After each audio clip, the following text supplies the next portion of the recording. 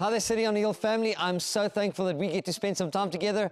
God is good. God is on the throne. He's faithful. And even though things happen around us, and even though it might be cold where you are watching right now, I know that Jesus is faithful and He is the one that keeps His promises. I know that we are going to go into this amazing journey where God's just going to come and shift some things in our hearts. He's going to enlarge something of our compassion. We're going to catch more of His heart and we're going to experience more of what God wants to do in and through us. God's going to show us little opportunities to make a difference. Friends, I'm here to say to you that the friends, the family members, the people at work, the people in your school, they are all people that God has placed there divinely. And God wants to use you and me in specific ways to make supernatural differences in people's lives. I believe that God wants to come and just lift our heads a little bit. God wants to just take our eyes and our focus off all the battles. I'm sure if you're in South Africa focusing on, on Eskom and some of the load shedding and some of the things that's been happening recently, I know, friends, that this is this is not easy. And I believe that in the midst of the hardest times, that's where the gospel just takes takes off. That's where God does supernatural things when it's really tough. I'm thinking of the book of Acts, friends, and I'm thinking of how they lived in the middle of revival. And they were living in times of political pressure, times of economic pressure, times of extreme challenge, times of extreme persecution. And it was, in that time where the Holy Spirit empowered them. They experienced the move of the Spirit. They experienced God do supernatural things. And they could not trust in themselves. They had to trust in God. And so I'm so excited about this new series, Winsome. We're going to be winning some. God's going to win people through us. The Bible actually says, He who wins souls is wise. I believe that the Holy Spirit through us wants to win our family, our children, wants to win our parents, wants to win our friends, wants to win people at, at work, wants to win those that we have influence with. God wants to win the hearts of men. And for us to be able to be part of God winning so many hearts, we need to get, catch the heart of God. So today I want to just pray for us. We're going to get into today's message. Jesus, I want to thank you so much that we could just trust you and Lord, when we don't know what to do, like Jehoshaphat said, our eyes can be on you. I want to thank you for my friends and my family that are so faithful back in South Africa and maybe everywhere else around the world. Thank you that we can be in partnership together. I pray your blessing upon this word in Jesus' name. Amen. Friends, let's get straight into God's word. We are looking at the book of Jonah and we're looking at how Jonah experienced something of a revival, something of a move of God. And I believe that God wants you and me to be part of this end time revival. Now, sometimes people have really misrepresented revival, misunderstood revival. But if we're going to win some, we need revival. We need the move of the Spirit. We need to be part of what God is doing. Like Bono used to say, the, the, the lead singer of U2, he said, instead of doing our thing and asking God to bless it, we should be asking God what He's doing and join Him because that's already blessed. Friends, you and I, as a believer of Jesus Christ, as a follower of Jesus Christ, we were born for constant revival. Constant revival. There's a mandate of God upon the people. When you read the scriptures, when you read the life of Jesus, it's a constant expectation, a constant desire, a constant hunger, a constant openness, a constant uh, real expectation, a longing for God to do what only He can do. And most people have the wrong picture of revival, and that's why they never experience it. Friends, if you think revival is limited to a few nights, a week long list of meetings, celebrations in a church building, if you think revival is limited to that, you are so wrong, my friend. I'm here to say to you that revival is way more than that. It could in- involve that, but it's not only that. If you think that revival is everyone on the floor in a building, um, under the power of the Spirit, I'm telling you, I want the Holy Spirit to touch us and I want to experience His power, but that's not the limit. Revival is not limited to that. If you think that it is about meetings going on for hours and hours and hours, I'm here to say to you, there are times I've experienced this with you. There are times when the Holy Spirit moves and we just don't want to go anywhere. But that's not the extent. That's not the, the, the revival is not limited to that only. That might be part. Now, we really need to see more of that, but it's not the limitation. I believe revival is needed personally for us and corporately. And um, if you understand the Bible, if we read the scriptures, the Bible is so clear that revival is all about Jesus Christ and His Spirit and the Father's heart being released. Revival is not about man, it's not about flesh, it's not about a cause, it's not about a person, it's not even about a church. Revival is about you and me growing in our passion, our hunger, our desire, our openness to God, and then seeing God do supernatural things. We're going to go into a campaign after this speaking about purpose and how we're going to be able to, to engage in the purposes of God for our lives. And I believe that this series is going to be a, a great opportunity to kind of prepare us for what God wants to do. And I believe that until you and I experience personal revival constantly, constantly, daily saying, Holy Spirit, come and minister to me, daily saying, Jesus, reveal yourself to me, daily saying, Father, I want to hear your heart, I want to catch your heart, we're going to struggle. So the first session of this amazing series is we want to catch the heart of God. We need to win the heart of God so that we can need to gain something of the heart of God so that we can win the people in our lives. Um, I want to ask you, what is God's heart when it comes to revival? And what does that mean for you and me personally? What's God's heart? I believe parents, you should be asking God, what is your heart for my children and revival in my home? Employees or business owners, you should be asking God, what is your heart what is your heart for revival in my, in my business and in my workplace? Your student, students or teachers at your schools. Lord, what is your heart? What does revival look like in our schools? Friends, biblical revival is the intensifying of the ordinary works of the Holy Spirit. It's the intensifying. So the Holy Spirit is always working, but we see these manifestations, we see them intensifying, and that's what we're going to trust God for. I believe that there's four things that happen when the Holy Spirit's work is intensified in our lives and in our spheres of influence. Number one, there's a conviction of sin. And we're going to touch on this over the next few weeks. God's not into condemnation, but He definitely convicts of sin, righteousness, and judgment to come. There's a conviction of sin. When we ever see revival, when the Holy Spirit moves, people are convicted of what they need to let go of. Secondly, there's conversion. People become Christ followers. They, they convert. They, they turn from darkness to light. They, they, they turn from trusting in, them, in their idols or in themselves to trusting in God, there's conversion that happens. When the Holy Spirit's work is intensified, there's a, an assurance, like we get an assurance of salvation that gets released in, um, in our lives. And this is, a, this is really, really powerful because He gives assurance of salvation. And then there's a sanctifying that happens. People become more and more like Christ when, when there's revival. People become more and more like Jesus Christ. And so let me give you those four again. It's, it's convicting of sin, it's conversion, people become followers of Jesus, it's giving assurance of salvation, people's uh, salvation, like it says in Romans 8, we're going to touch on that. The Holy Spirit gives you and me assurance, the move of the Spirit, the revival in our hearts. And fourthly, there's a sanctifying that happens. We become more and more like Christ. So I'm really going to give you just some things that I've learned over the years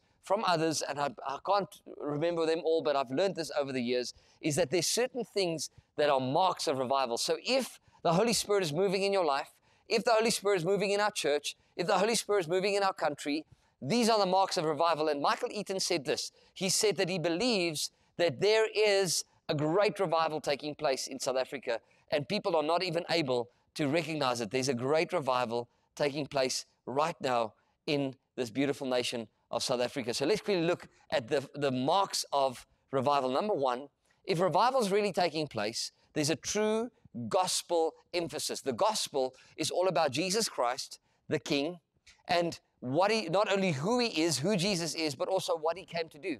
It's the good news about Jesus. It's a brand new identity in him, and it is the kingdom of God coming in and through our lives. Who is Jesus in your life? Have you experienced the gospel, the revival? When revival happens, when there's a move of God's Spirit, I want to say this for people to be one, we need to be one. Our hearts need to beat faster. Our, our gaze need to light up at the thought of Jesus. We need to look to Him and we are radiant. There's this old story I've heard someone tell once about a father and a boy walking on the beach. And the father and the boy are walking and they're talking to one another. And there's a sense of connection between the dad and his young son, his little boy. There's a sense of connection. They're able to talk to one another, they're able to connect with one another. But then there's this moment where the son turns to the dad and lifts up his arms, and the dad picks up the son, and the dad squeezes the son tight. And the son's ear goes onto the dad's chest, and the, the son hears the, fa- the, his father's heartbeat, and the son can feel the father's embrace, and the son's experiencing security. The son's experiencing safety. He's experiencing acceptance. The son's experiencing affirmation. He's experiencing affection. And so it's amazing how the son went uh, from knowing that he has a father to experiencing his father. He's, he's gone from knowing the good news that my father loves me to experiencing the good news. Friends, that's a sign, that's a trademark, that's a mark of revival, is that you and I don't only know the gospel, but we experience the gospel. We don't only know about how God, good God is, we experience his goodness. We don't only know about what he's done for us, we experience it firsthand. It's amazing. Revival has to happen in me. Friends, you and I need to experience more of the closeness of our Father. It starts with you and me experiencing the gospel. Romans 8, verse 18 actually says that the Spirit testifies with our spirit that we are children of God. There's this inner witness, there's this experience, there's this close encounter. That's why I believe it's so important. This is one of the marks of revival. The second mark of revival is true repentance. Now, here's the thing, friends repentance has become a swear word in the, in the, in the Western world, in the Western church. People are like, no, you know, I'm amazing. I'm perfect. There's nothing wrong with me. Actually, the truth be told is, friends, yes, in Jesus Christ, you and I are fully righteous. But repentance is, Lord, I want to keep on. I want to keep on pursuing your radical, amazing high point, the place, my, my position in Christ. I want to repent back to who I really am because sometimes I get distracted. Repentance is turning from what I know or what distracted me back to Jesus, turning my eyes on Jesus. Repentance is about saying, Lord, I own what I did wrong. I want to let go of that. I want to turn from what's not me, and I want to turn to you. Friends, South Korea experienced a powerful revival. South Korea is one of the most fastest growing, uh, the nations with Christianity is the fastest growing in the world. South Korea is where Yonggi Cho was. Millions upon millions upon millions of believers. South Korea went from um, literally 0% Christian to more than 40% of their nation truly born again, believing followers of Jesus from 0% to more than 40% in a number of a few years. And you know why? One of the reasons historians tell us is that when the gospel started penetrating, when the gospel came in, when revival happened, the Korean, South Korean revival, when it happened, what happened was they started repenting. And they did not only repent, but they also went and said, repented to the Chinese because of what they've stolen. And they, their repentance was real, their repentance was raw. And the, the fruit of that, the mark of that was real repentance, and the fruit was phenomenal, phenomenal growth and impact. The third mark of revival is that we have anointed corporate worship. Friends, this is what I love about City on Hill. I can't tell you how I miss worshiping with you in the building. If you're not getting to a City on Hill building, I want to encourage you to make every effort to get there this weekend and worship with your family. What I love about City on Hill's worship is it's, it's real, it's raw, it's authentic, it's passionate, it's full of fire, full of the presence of God, full of the power of God. It's anointed worship, corporate worship. My friend Ashley Bell says every revival that he's ever studied involved and included powerful, anointed corporate worship. In 1 Corinthians chapter 14, we see how Paul writes and he says, he says, when God is in our midst, people fall on their faces and say, Truly, God is with you. City on the old Church, I know you're watching me online, but I want to say this to you. You need to be in corporate worship. And revival, a mark of revival is when it's the Spirit of God breaks out and God is in our midst. That's what we want. The fourth mark of revival is there's always church growth. We see in Acts chapter 4 uh, Acts chapter 9, verse 31, actually speaks about the churches multiplying and, and they, they, they, they, they're growing in the fear of God and they're under the power of the Holy Spirit. And the Bible says, and multitudes got added. Many people got saved. So many people got impacted. There's church growth. People are going to be added. Can I prophesy this over you, City on Hill? Enlarge the place of your tent. Get ready. You are busy being stretched why? Because God wants to bring multitudes of new salvations, of people being born again, young people, old people, and different races, different cultures, different genders, different backgrounds. God wants to get them saved. God's going to, God's to use you as a, as a soul winning machine, City on a Hill. And uh, I believe that that's part of revival is we see church growth. And the last part, uh, expression of revival, and I love this about City on a Hill, is this extraordinary prayer. Prayer is always involved when revival, when the Spirit of God moves, the people of God pray. And when the key people of God pray, the Spirit of God, it's like, it's like His move unlocks prayer, and that prayer grows us in our experience of the move of God. In New York City, New York City experienced a phenomenal revival, friends. Such a powerful revival. And it was birthed out of business people, not pastors, not church buildings, business people saying, let's take a lunch break and let's pray together. I want to ask you, When last did you say, Listen, Lord, I'm only going to take 20 minutes? I'm going to pray with my, with, with my family. I'm going to pray with, how about families praying together? How about business owners praying together? How about teachers praying together? How about doctors and medical professionals praying together? How about people in, in, in, in the marketplace and, and entrepreneurs and, and, and people in, in, in, in corporate positions and lawyers praying together? How about people coming to, together to pray? Within two years in New York City, more than 80,000 people became followers of Christ because there was this prayer move of the Spirit. I believe that prayer and revival go together. The Welsh revival was such a powerful move of God. We've st- spoken about it so many times uh, that actually industry were impacted. Um, drinking places were emptied. Prisons were getting empty because people just didn't want to commit crime any, anymore. There were radical salvations. Why? Because people's hearts were won. People's hearts were won by God, by the Spirit. And then, by the Spirit of God, they said, We are now empowered by the Spirit to be witnesses, and others were won to the gospel of Jesus Christ. So, friends, I believe God wants these marks of revival to manifest in our midst. And that's why we're coming to Jonah. It's uh, what are the effects of revival? What would be the fruit of that? Three effects of revival that I want to share with you. Number one, sleepy Christians are awakened.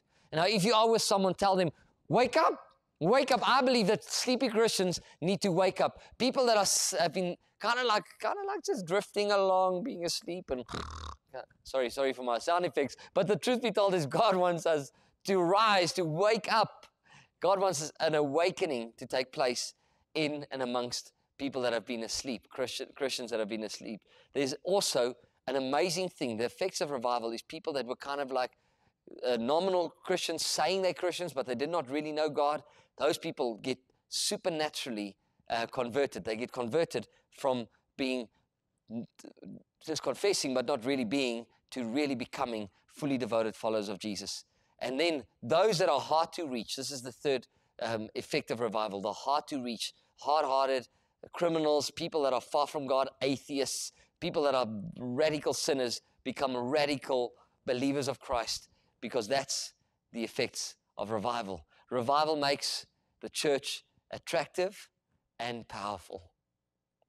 Revival is a move of God that includes miracles, signs, and wonders. I would say that powerful outpourings of the Spirit is what, what we need to be contending for, we need to be trusting for, we need to be open for, because that's definitely evident when revival happens. So let's get to Jonah chapter 1. And we're just going to take a few verses from Jonah today, but over the next few weeks, we're going to unpack this whole book and we're going to see how God involved Jonah in revival. Now, here's the thing, friends. I'm here to say to you that you and I today, I want to ask you, even though Jonah was a sign pointing to Jesus, I've been reading a book called The Prodigal Prophet by Tim Keller, speaking about Jonah.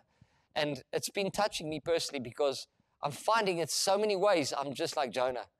And, and I'm here to say to you, could I ask you, by the grace of God, could you take a few weeks, go on a journey with us as a church, and could we bring our hearts to God and say, God, something of my heart needs to shift.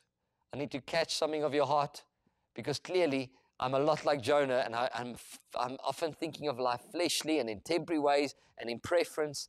And I actually want to catch your heart, and I don't want to be distracted by my fleshly desires. Let's go to Jonah chapter 1, verse 1. It says, The word of the Lord came to Jonah, son of Amittai Go to the great city of Nineveh. Listen to this. The word of the Lord came to Jonah. Friends, this is one thing I've learned. Who is the Word? Jesus Christ. In the beginning was the Word. The Word was with God. The Word was God. That's John chapter 1, verse 1. The Bible says that Jesus Christ is the Word made flesh, John 1 14. And that means that when the Word of the Lord comes, it's like Christ coming to Jonah. I'm here to say to you through this series and through the Word of God, every morning of your life, every day that you spend time with Jesus, the Word of the Lord will come to you.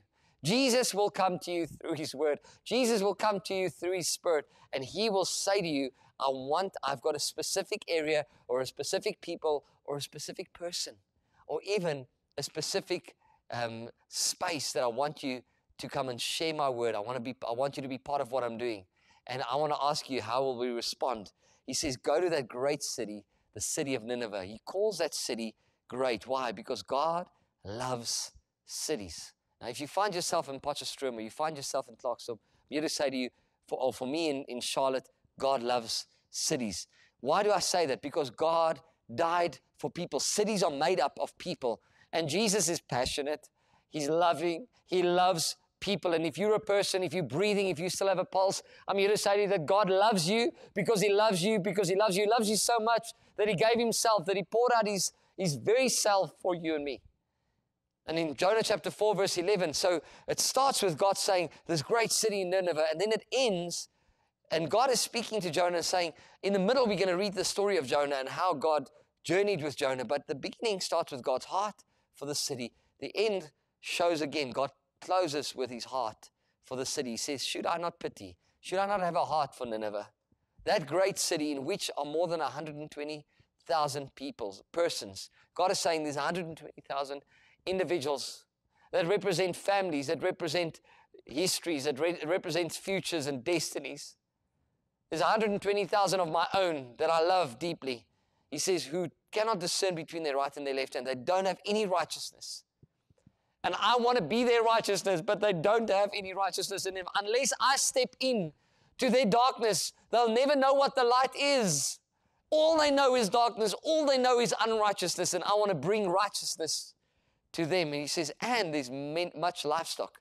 There's much resources. I'm not only concerned for them, I'm also concerned for the livestock, the things that I use to sustain them. I want to sustain them. Verse 2 of Jonah chapter 1 says, and preach against it because its wickedness has come up before me. Friends, I'm here to say to you that God does not call us to preach against so that we can condemn. God calls us to preach against for the purpose of redemption, for the purpose of restoration, for the purpose of revival, for the purpose of, of rejoining, of revealing the righteousness of God to people. It's not to bring people down, but it's to bring people to restoration. It's, it's the purpose is for the best of the people.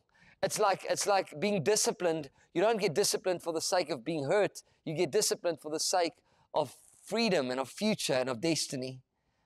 Jonah, I'm here to say to you, friends, that Jonah would have gone to Nineveh if it was all about condemnation. Because Nineveh, you'll see next week, was a very bad city with, with, with very bad people living in, in that city. And that, those people were so evil that Jonah just could not believe that God would be merciful to them. So if God said, Go and preach to them so that I can condemn them, he would have been the first to go. But God, he knew. God's not saying, Preach to them so that I can condemn them. Actually, preach to them so that I can be merciful to them. Because see, we as the church, we don't preach condemnation. Romans 8, verse 1 says, There's now, therefore, no condemnation for those who are in Christ Jesus. Those who walk according to the Spirit, not in the flesh. God actually wants us in the spirit, and He wants, He says, He wants us to bring conviction. Conviction is there to, to build up, is to bring people into repentance, into the penthouse. Condemnation is to take people down to the pit of self pity and despair. Now, God wants conviction. It's amazing for me how Jonah really, the message that Jonah had to preach really is, is, the, is the gospel. And the message that you and I need to preach is Ephesians chapter 2. It's found in Ephesians chapter 2, verse 1 to 10. And I don't have time to unpack it completely. But if you want to know what message your family needs to hear, you need to know Ephesians chapter 2, verse 1 to 10. He says in verse 1, He says, He made us alive. We were dead in our trespasses and sins, and He made us alive. He says, We once walked according to the course of this world, according to the prince and the power of the air, the spirit who now works in the sons of disobedience, among whom we also once conducted ourselves in the lust of the flesh, fulfilling the desires of the flesh and of the mind, and were by nature children of wrath, just as the others. Paul's writing and he's saying, Friends, I'm here to say to you that God wants to make you alive because he made us alive. And the key for us to share this word for the key for us to be like Jonah and to say, Lord, I'm not going to run away, but I'm actually going to engage in the revival you want to bring about in my friends and my family. For me to win some amazing people, the key is that you and I would be remembering that we've been made alive. And we must remember that we were dead, but now we're alive. And the people we're talking to, friends, sinners are supposed to sin because that is their identity. They're sinners. You and I are sons and daughters of the Most High God who make mistakes, who happen to sin from time to time, of which we then can repent. But we don't, our identity is not sin, our identity is righteousness. Their identity is sin, their identity is unrighteousness, and so we can bring new life to them. Their identity is death, our identity is life. I'm here to say to you don't forget where you come from. Everyone has a past, but Jesus has a future for everyone. Remember what God has done for you. And if you're far from God today and you're watching this, this online, I'm here to say to you, good news. Jesus Christ wants to bring you out of death and into life. Verse 4 to 7 of Ephesians chapter four, uh, 2 says, But God. Can you say, But God? You and I do not do the saving, God does the saving. You and I do not do the changing of lives, God does the changing of lives. He's rich in mercy because of His great love with which He loved us. Even when we were dead in our trespasses, He made us alive with Christ. By grace, you have been saved and raised us up together and made us sit together in the heavenly places in Christ Jesus. Friends, there's so much happening here. He's saying, God who loved us, made us alive, um, He raised us up together. Friends, that's the message that you need to bring to your friends and family. This is you were dead, but I've got awesome news for you. Not me, not your goodness, not your religion, but God wants to raise you up. And He doesn't only want to raise you up, He wants to put you back in the penthouse, in the heavenly places. He wants you to be in Him in heavenly places. And He wants to show you the exceeding riches of His grace. He wants to show you His kindness. Oh man, I'm getting excited, man. He wants to show you His kindness, friends. What kindness that's in Christ Jesus. Oh, wow. That's God. That's the God we serve. That's the message we preach.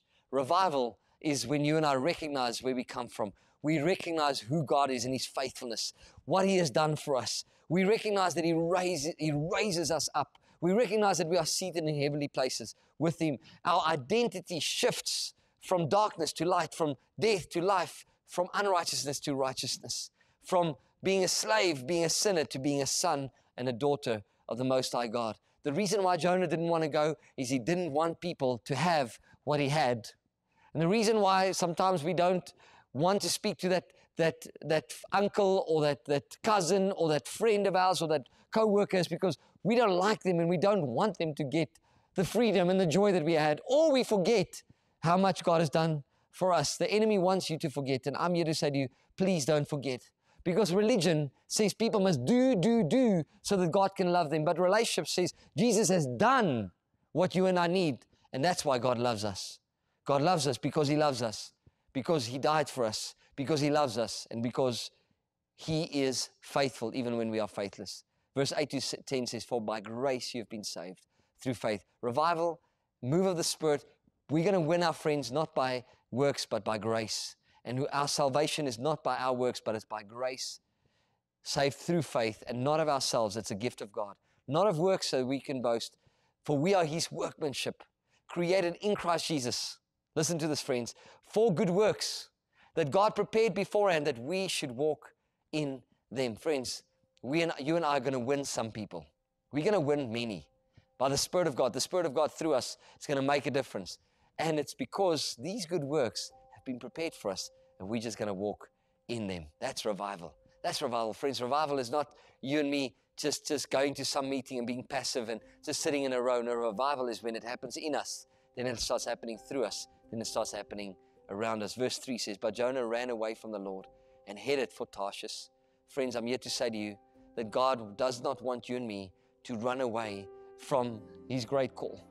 He wants you and me to know that you and I have been born for revival. My prayer is that none of us will miss the opportunity that God's presenting to us right now.